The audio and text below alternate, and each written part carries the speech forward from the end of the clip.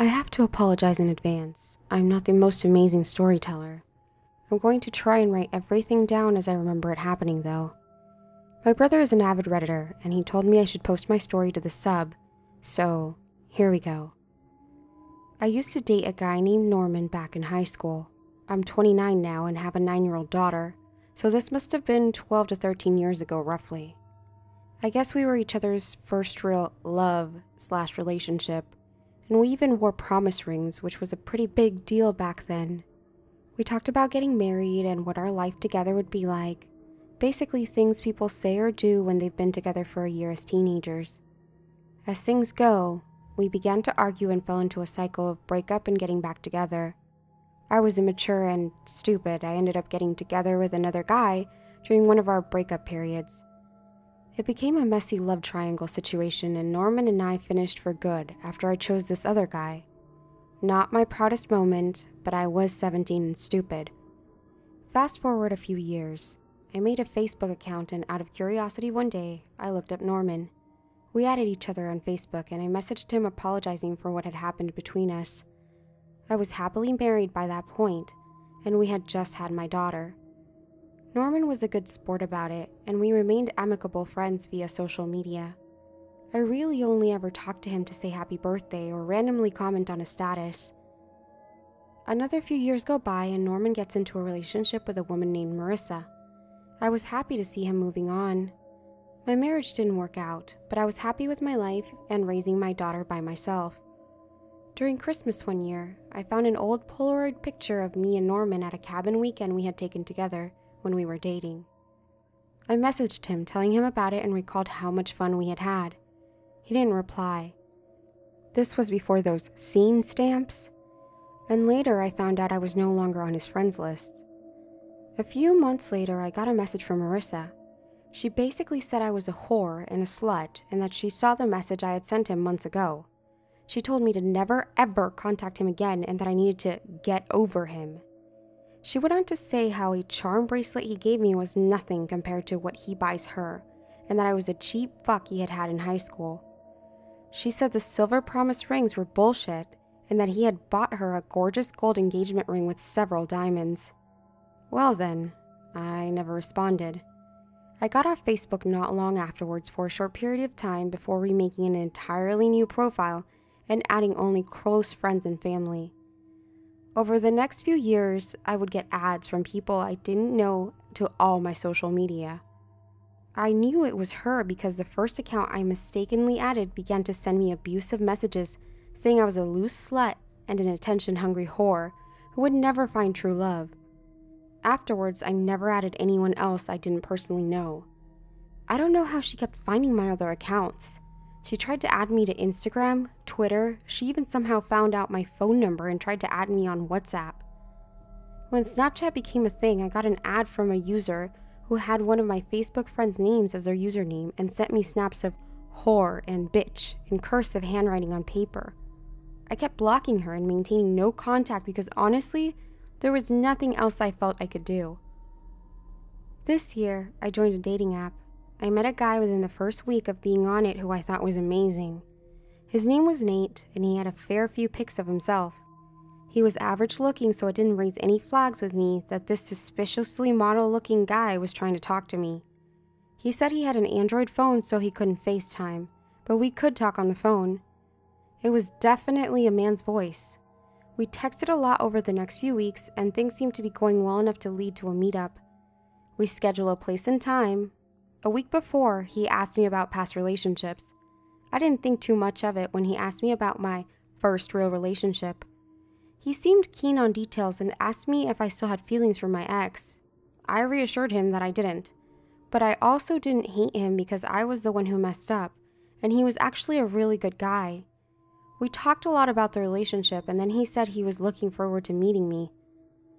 We had chosen to meet at an outdoor cafe because I didn't like the idea of meeting at my house without me actually knowing who this guy was.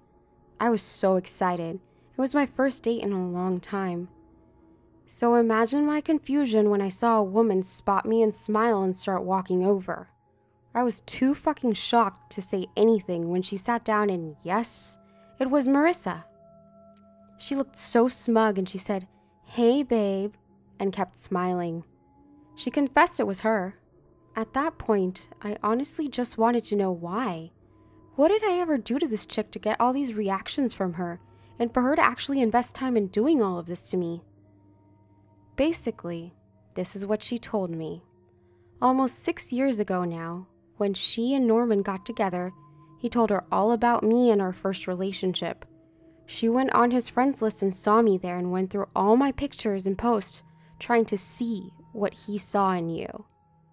Then, when I messaged him, she confronted him over why I had any pictures of me and him still, and why he needed to have me on Facebook. He deleted me and promised her not to talk to me again. She told me she hated me and I was a stupid bitch who loves playing with people's emotions, and that she wanted to give me a taste of it. She said she made up accounts so she could keep an eye on me and make sure I wasn't going to be in the same city as her and Norman. I live right outside their city, by the way. She would walk by places I'd say I'd be at if I was to make sure he wasn't meeting up with her in secret. She knew where I worked through my LinkedIn. She said the guy who I spoke to on the phone as a Nate was her friend who was in on it and wanted to see me go down.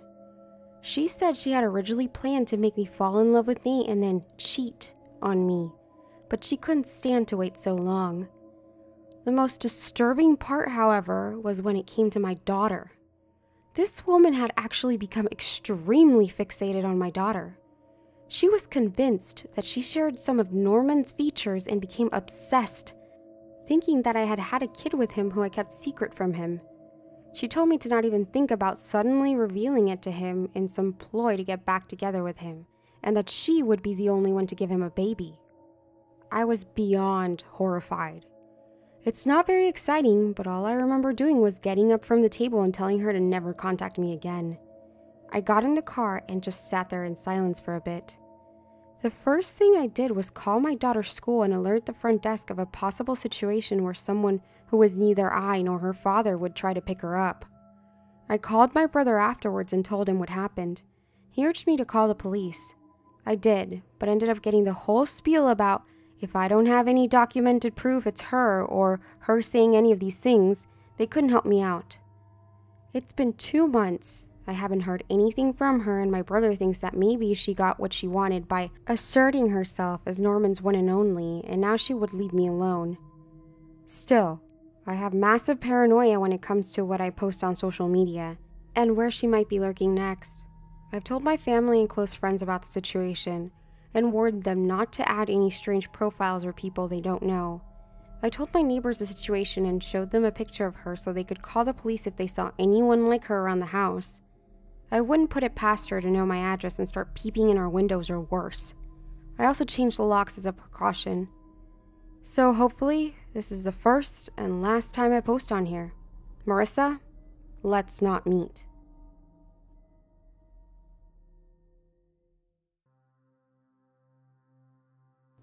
I felt compelled to contribute to this thread after being invited to join Skout and chatting with the sketchiest people on there. Here are two of the stories. This week, I had a relatively attractive 26 year old guy who started chatting with me on Skout.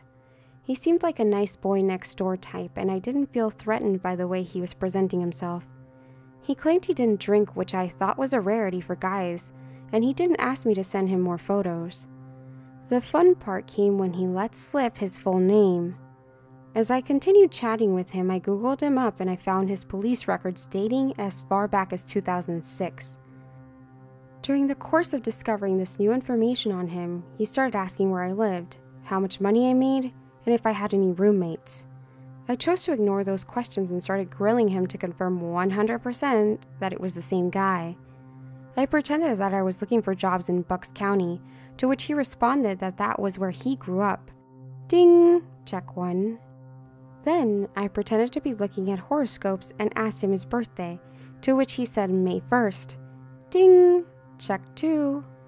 I asked him if he really was 26 and not born in 1975. as listed in his reports, making him 37 years old. He denied it and said he would send me a picture of his ID, which he never did, and I proceeded to send him copies of my findings, reported him to Skout, which I question if they'll do anything about, and blocked him.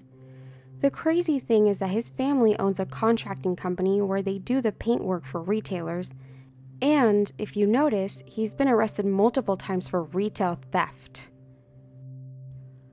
The second Skout story I have to share is about a possible sociopath and grade A misogynist. I've blocked and deleted him multiple times, and I've started to report him. But he seems to always find a way to create a new account, find me, and then proceed to harass me. Every time this guy is the same. Maybe he's not only demented, but also has amnesia. But it always starts off with him either greeting me with a hi and remember me? and then him sending me a photo of himself. His profile is blank, but he's actually cute, but that says nothing for him since his personality is crap. Follow this by him asking me to go drinking with him or going over to his place, which I always and will forever decline. It always happens that he has been drinking when he finds me on there.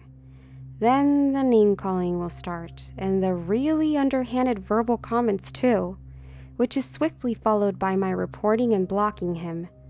I don't understand why he even bothers. Does he not understand by now that I'm not some poor, weak, desperate girl he can bully? I'm more the type to take a bat to his crazy ass if he really crosses the line.